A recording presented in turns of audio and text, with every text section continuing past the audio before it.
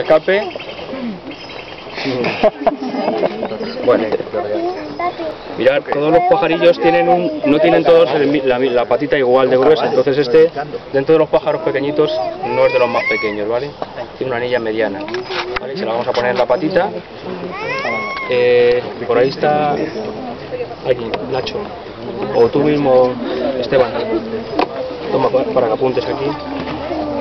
Vamos a poner. Todas las anillas que se ponen tienen que mandarse al Ministerio eh, de Medio Ambiente, a una oficina de especies migradoras que hay, para que sepan dónde están. A ver. Pues las anillas que se le pone a este pajarito son de este tamaño, ¿vale?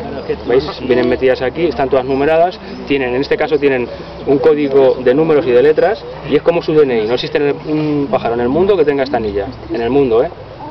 Puesto que estamos todos relacionados a nivel europeo y a nivel internacional a través de un banco de datos, ¿eh? entonces cada uno eh, es raro que este pájaro se pueda encontrar en América, no, es casi posible, seguro.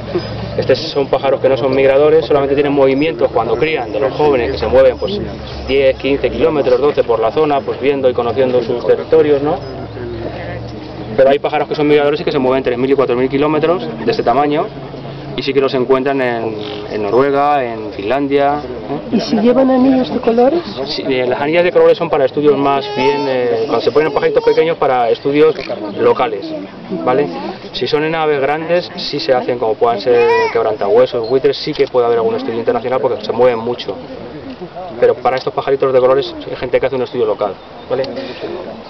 La punta de la anilla es 2, míratela tú ahí, 2A, esa que hay aquí abajo. Y ahora me la ¿vale? Sí, perfecto. Mirad, este es un macho. En, en, esta especie hay dimorfismo sexual que se llama que tienen diferentes formas o colores los machos y las hembras. Aquí no es que sea muy grande la diferencia, pero sobre todo es por la corbata. ¿Veis que tiene un, que tiene un fondo amarillo? y luego tiene como una especie de corbata grande, blanca, eh, negra, ¿vale? Pues cuando la corbata le llega hasta aquí, hasta el vientre tan ancha, pues es un macho. La hembra lo tiene mucho más finito por aquí ya. Ya si, si la otra es hembra que no lo sé, lo vemos. Pero imagínate mirar qué canchura tiene ahí ¿eh? en el vientre de negro. ¿Ya? ¿Tiene cuál es? Esa es.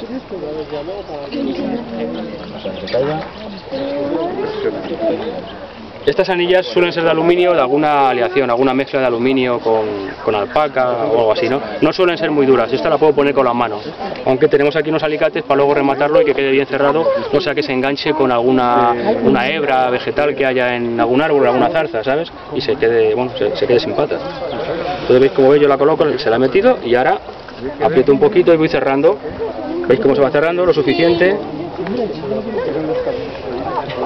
ya estaría cerrada, pero veis cómo queda ahí un pequeño hueco que no se cierra fácilmente. Entonces, cogemos unos alicates que tenemos especiales ¿eh? para esto, ¿los veis? Que tienen diferente tamaño de, anilla para que no se pueda, si yo me paso apretando, pues que no le pueda apretar y no pueda partir la pata, ¿vale? Se hace así. Esteban ya ha apuntado el código de esta especie, o sea, la anilla que tiene, este pájaro. Sabemos que es un macho, ¿eh? ¿De acuerdo?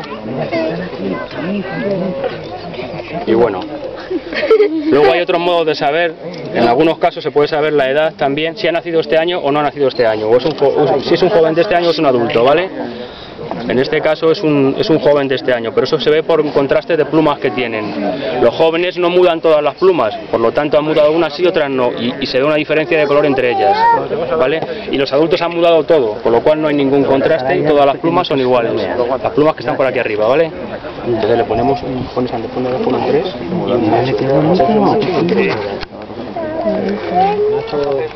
eso ya cuando, si a alguno os interesa ya cuando metáis en el mundillo esto ya lo explicamos mejor, ¿vale? Bueno, pues ahora vamos a tomarle alguna medida, muy poquitas para tampoco machacar mucho al pájaro. Mirad, le vamos a, a tomar la medida del ala plegada, es el ala en esta posición, plegadita así, ¿vale? Le hacemos tope aquí en el hombro, ¿vale? Con este tope que hay aquí, y luego extendemos las plumas, pero el ala no lo apretamos, el ala tiene una curvatura natural, ¿eh? que es para volar. No la yo no lo aprieto el ala para, este- para dejárselo plano porque no, es- hay que mantener su curvatura. ¿no? Lo que hago es el tope y luego extiendo las plumitas de aquí, la punta de las plumas de las plumas primarias que son las del vuelo, las que impulsan. Y se miden en, en milímetros. Este tiene 76 milímetros. Los machos suelen ser algo más grandes que las hembras, ¿vale? Y pues ahora solamente, bueno, le vamos a pesar y poco más. ¿Has hecho buenas fotos? Mirad, para pesarles lo vamos a hacer... ¿Dónde está tu hermana, eh? A ver, chiqui. Ahí la ponemos. Da el sol, coño, es para otro lado. Están hablando ya. La encendemos y se queda.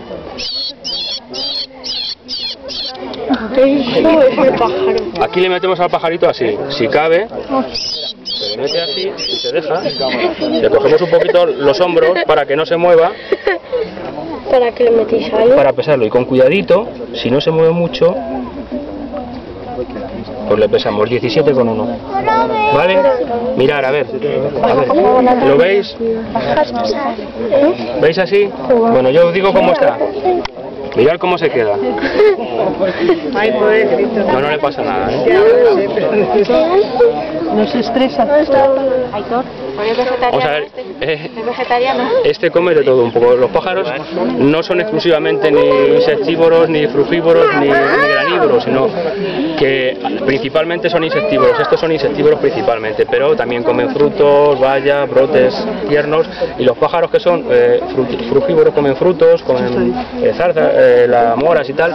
En la época de reproducción tienen que comer también insectos para necesitan la proteína animal para obtener, para hacer la casca de huevo bien, ¿vale? O sea que no son exclusivos, pero bueno, sí, además, si habéis visto, estaba como, como muy acelerado.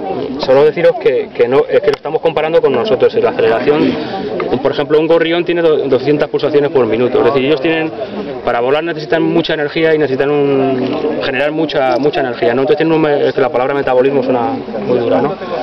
Tienen un metabolismo muy acelerado. Ellos tienen un ritmo cardíaco mucho más acelerado que el nuestro, como tres veces más, ¿vale? Y un colibrí puede dar mil pulsaciones por minuto, por ejemplo, ¿vale? Con lo cual no quiere decir que estén estresados o que estén, que seguramente lo tengan también algo de estrés, ¿no?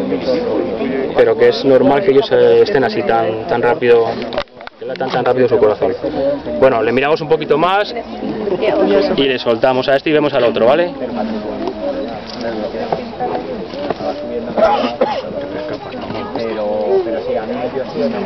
Venga, lo vamos a soltar ya. Bájasela aquí a que la. Venga, que te estás esperando. Uy, ya se enfada, ¿verdad? Lleva mucho tiempo aquí. puede acariciar?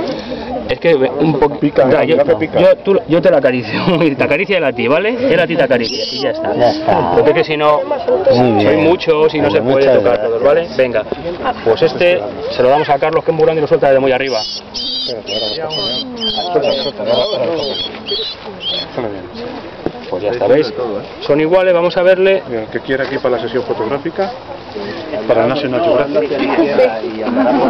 Pues este también es un, un macho, veis que también tiene muy ancho la corbata por debajo, ¿lo veis? Es que las hembras tienen un hilito muy fino, ¿vale? Y este se ha quedado sin cola. Ya. Porque se ha debido de caer. Teresa, ¿quieres una foto de este al sol? No le pasa nada en principio. Venga, que la. Sí, De dorso, De pasada, sí. de pectoral, Ahora, sí, a la de pectoral. de pectoral. Tienes pectoral y tienes dorsal, ¿no? Vamos que lo suelto. ¿Está? ¿Lo tienes? Bueno. A ver.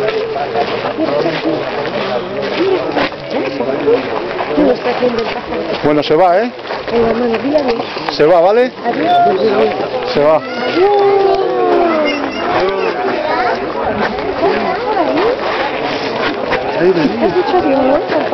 Gracias. Va para el reportaje vuestro en la web.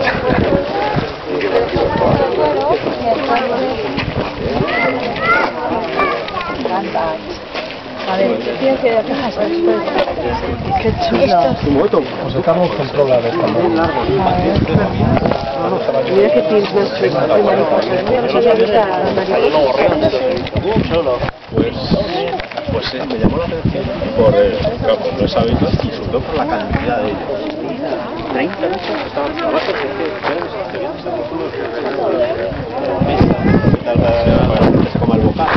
el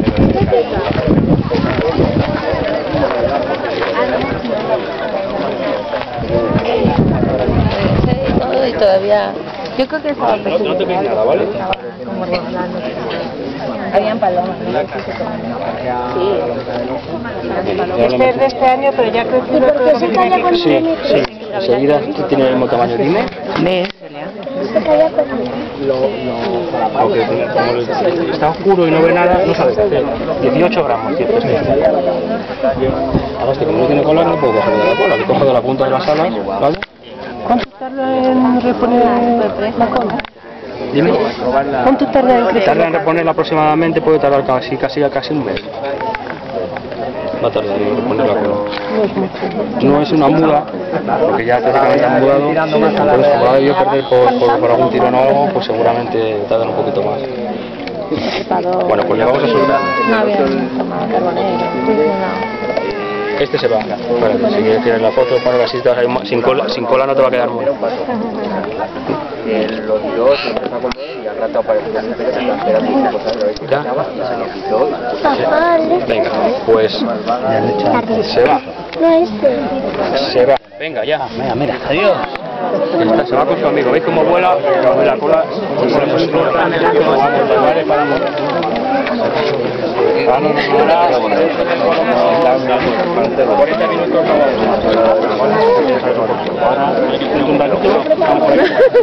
No pasa nada. Coge la palomita esa, la que la tienes, coge tú. Ya sabes, es un carbonero común. Esa pa- Aquí hay otro. Ah, pero esta no.